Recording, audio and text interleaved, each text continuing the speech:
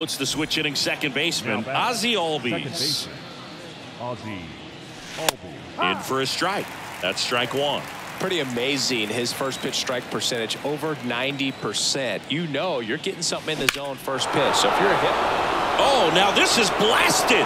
Way back there. On its way. Gone. Ozzie Albies goes yard. And they slice into the lead. It's 4 1.